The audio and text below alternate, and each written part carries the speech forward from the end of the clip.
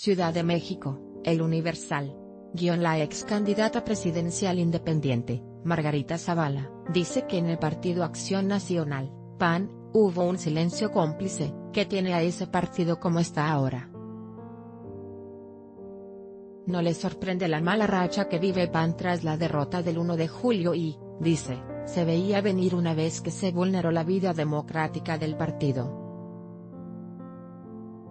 En entrevista con El Universal, la expanista detalla que Libre la asociación civil, de la cual recién anunció su creación, busca actuar ante el colapso de los partidos políticos.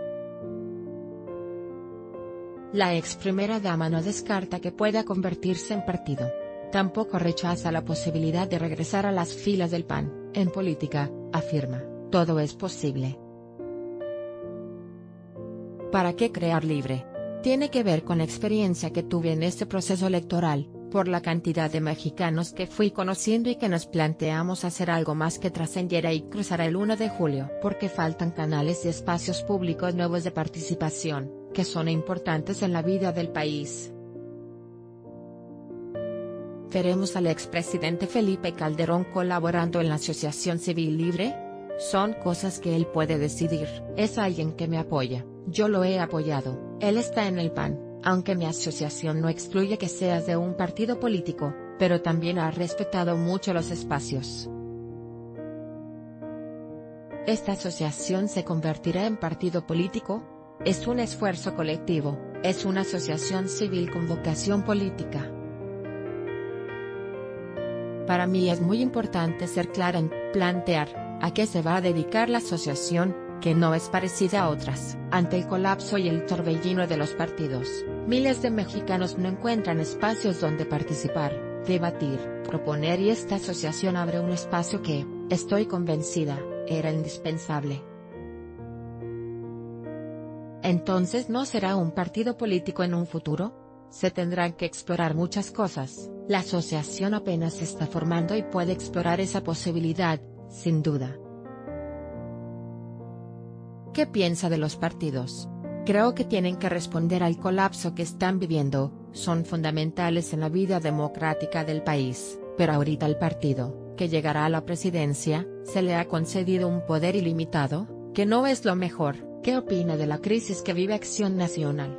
No me sorprende, la verdad. Siempre he sido muy respetuosa del PAN, digamos que los ideales los defendí yo más que cualquiera pero sí veo que varios se arrepienten de haber visto cómo se imponía un coordinador y me digo, ¿por qué esperaron tanto? ¿Por qué esperar a que las cosas pasen o que nos estrellemos?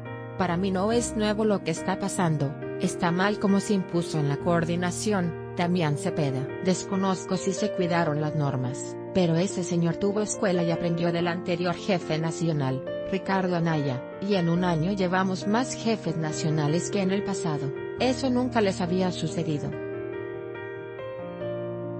es un aprendizaje para que no haya silencios cómplices que se convierten en mentiras, son silencios que causan daño a una organización y a un país. ¿Considera que hubo silencios en el Partido Acción Nacional? Por supuesto y hay varios arrepentidos nada más que, punto punto punto, pero nunca es tarde, son tareas que ellos irán resolviendo. ¿Usted podría contemplar reincorporarse a las filas del PAN? Yo nunca descarto nada en política, pero el tema no es si yo le entro o no, sino que hay de fondo. Margarita no hizo silencios cuando militaba en el PAN. Seguramente, algunos consciente, sí, sin duda alguna, también algunos otros, porque por seis años yo acompañé a Felipe, Calderón, como presidente de la República, que me dediqué a trabajar, si no de manera protagónica, sí en temas como los niños migrantes, de adicciones, cosas que te exigen a ti mismo tener la oportunidad de trabajar por el bien común.